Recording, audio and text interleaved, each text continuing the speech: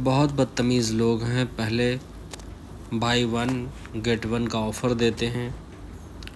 और जब जाओ ऑर्डर करो तो कहते हैं, लार्ज पे स्मॉल मिलेगा। मीनू कार्ड पे प्राइस मेंशन नहीं है। और कब पूछो क्यों तो कहते हैं, अभी अभी खुला है। लेकिन जब डिस्प्यूट होता है तो पता चलता है कि बहुत छः साल से ये चल रहा है होटल और मीनू पे प्राइस क्यों नहीं है, इसकी आप साइकोलॉजी समझ सकते हैं। चाइल्ड टॉलरेंट बिल्कुल नहीं है। थोड़ा सा खरोच आया तो उसके पाँच सौ रुपये मांगे, मना किया तो पुलिस की धमकी देने लगे और बहुत बदतमीज़ी से बात की। पैकेजिंग, थोड़ा सा खाना बच गया था। तो मैंने कहा, भैया, पैक कर दो। तो उसके पचास रुपये चार्ज लगा लिए, जबकि हम पूरे हिंदुस्तान में जाते हैं होटलों में, कहीं कोई चार्ज नहीं करता है। कहीं भी किसी ने चार्ज नहीं किया।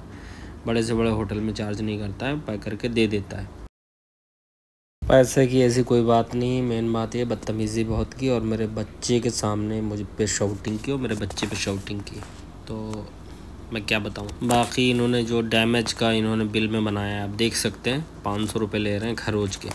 ऐसी कोई नहीं थी, मुश्किल से थोड़ा सा उसमें चालीस पचास रुपये की पेंट से हो जाता काम। सड़े से रखे हुए हैं वो, फंसाने के लिए रखे हुए हैं वो। फैंसी बनाया गया है उन्होंने झूठ तो बहुत बोलते हैं।